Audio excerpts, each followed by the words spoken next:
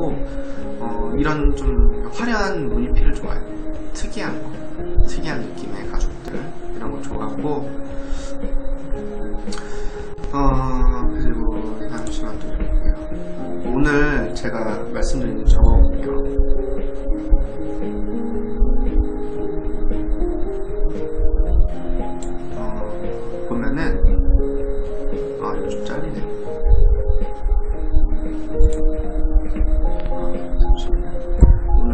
남성 디자이너들의 이제 섬세함 막 이런 것에 얘기를 하잖아요. 남성 디자이너의 섬세함인데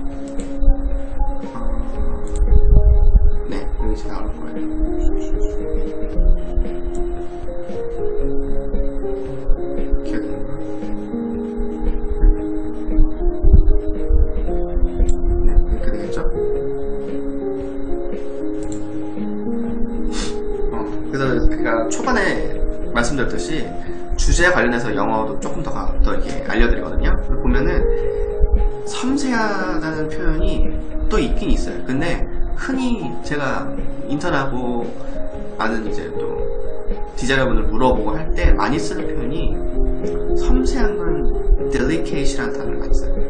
adjective 하면 형용사거든요. 그래서 delicate 하면은 써있듯이 어떤 감촉한 자체가 섬세 우아한 뜻도 있고 감각이죠. 감각, 감정, 심리적인 거 그런 거에 대해서 섬세하고 민감하다는 뜻도 있어요. 그래서 delicate라는 표현을 음, 디자인 뭐 패션 패션 매거진이나 패션 뉴스 broadcasting이나 뉴스 또그 신문 브- 어, newspaper 같은 거나 어, 그그 전공 관련해서 일하면은 많이 들어요. 특히 이거는 디자인 분야뿐만 아니라 이대생들, 그 다음에 이제 포토그래피 쪽 사진작가랑 인턴 할 때도 제가 많이 들었단 말이거든요. 그래서 흔히 패션, 파인 아트, 포토그래피 이런 분야에서는 굉장히 많이 쓰이고 저 하- 하단부에 보면 example 있잖아요. 그래서 a delicate figure 하면은 우아한 자태인데 미대에서 이제 수업 시간에 이제 그래서 누드 크로키나 누드 크로키를 하면은 누드 모델이 오잖아요. 그럼 교수님이나 그 뭐 교수님들이 얘기를 하죠. 좀 약간 어떤 자태를 해달라고 할 때 약간 저런적인 거 있어. 우아한 자태로 해달라. 했을 때 a delicate figure라는 이런 표현을 쓸 때가 있었어요. 그리고 포토그래퍼 그 프랑스 photographer나 이- 그 인턴 할 때도 어, 모델분이 왔어요. 그래서 이제 어떤 컨셉을 갖고 이제 누드 모델 촬영이라고 하는데 그때도 photographer 분도 그 delicate figure라는 이제 이 표현 우아한 상태 이걸 쓰거든요. 그래서 이건 흔히 이제 이런 디자인, 예술, 미술, photo 이쪽 분야에서 많이 쓰는 표현. 예, 그래서 이쪽 분야분들 좀 알고 계시면 좋고요. 그 다음에 어, delicate sensibility 하면은 이제 섬세한 감각이요. 아까 저 위에 보면은 감각이란 거에서도 섬세하게 쓰인다고 했잖아요. 그래서 남성 디자인 오늘 그래서 주제가 그거잖아요. 남성 디자인 섬세함, delicate이거든요. delicate이라고 발음도 해도 되고 어떤 애들은 delicate이라고도 발음을 해요. 두 개예요, 두 개. 잘못 그러니까 조금 다르다고 해서 막 헷갈리실 필요 없어요. delicate, delicate 두 개예요. 그래서 delicate sensibility 하면은 섬세한 감각을 얘기하는 거예요. 그래서 감각이 되게 섬세하다 막 이렇게 표현할 때 이런 말을 많이 쓰고요. 어, 그리고 알아두시면 좋고 어, delicate라는 이, 타- 이 어, 키워드 하나로 어, 미국에서 흔히 슬랭이라고 하죠. 슬랭 하면은 그러니까 속어, 속어, 한국어로 속어라고 하면 될 거야, 속어. 어쨌든 슬랭이라는 표현인데 AME는 이제 영문 어, 영영사전 많이 쓰시는 분들은 아실 거예요. AM이라고 표시되어 있죠. AME 하고 슬랭이잖아요. 슬랭은 속어인데 AME는 American English의 약자고 그러면은 영국 영어는 음, British English라고 써있죠. 네. AM이고 이제 BRE 하면은 이제 British English라고 이제 쓰기도 해요. BR이었나 면 생각 안 나는데 그래서 B로 시작하는 English면은 이제 영국 영어. 그래서 AM, 그 American English 슬랭에서는 이런 있어요. delicate라는 표현을 갖고 임신 중이다라는 표현이 있어요. 표현할 수 있어요. 그리고 실제로 음, 아는 분 중에 이런, 이 표현을 얘기하시는 분 있어서 저도 어, 생활하다 알게 된 거예요. 그래서 왜 유학을 가야 되는 이유가 있냐면은 현지에서 현지인들과 같이 생활하다 보면 이렇게 해요. 흔히 우리가 찾아 보통 임신이 pregnancy나 pregnant 이런 표현이잖아요. 근데 그것만 아는 게 아니라 그거를 표현하는 방법이 정말 다양해요. 그래서 그거를 알려면 현지에서 현지 사람들과 생활하고 일하고 친구들도 만들고 놀고 뭐 애도 봐주러 가고 뭐 그러다 보면 이렇게 생활에서 얻어지는 거기 때문에 그래서 유학을 가야 된다는 거예요 아직은 예, 아직까지는 그래서 유학을 가야 된다는 거예요 그래서 저도 그때 느낀 건데 어, 그때 이제 이제 어, 이웃분 중에 이제 이 표현을 쓴 사람이 있었어요. 그래서 being a delicate condition 하면은 똑같은 표현이에요. during pregnancy 그러니까 임신 중인 거, 임신 중이다. 그리고 또 다른 같은 뜻인데 다른 표현은 be expecting a baby 이러거든요. 그러니까 expecting a baby 하면 이제 아기를 낳을 예정이니까 낳은 걸 알죠. 즉 임신 중인 거죠. 똑같은 말이에요.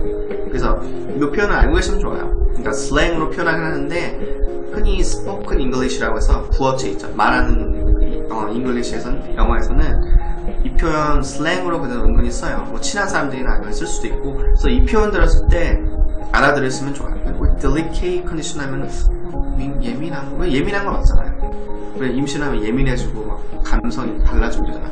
그 표현인 거예요. 그래서 슬랭으로 being a delicate condition 하면은 during pregnancy 아니면은 be expecting a baby 같은 표현이에요. 그리고 저런 표현도 있어요. delicate이 섬세하고 그런 뜻이다 보니까 약간 어, 약하다는 의미가 weak 있죠. weak. weak는 약하다는 의미도 들어가요. 그래서 저 표현도 있었어요. be in delicate health 하면은 be in delicate health 하면은 poor poor health 그거예요. poor health 그래서 feeble health 이럴 수도 있고 약골이라는 뜻이에요. 허약한 체질.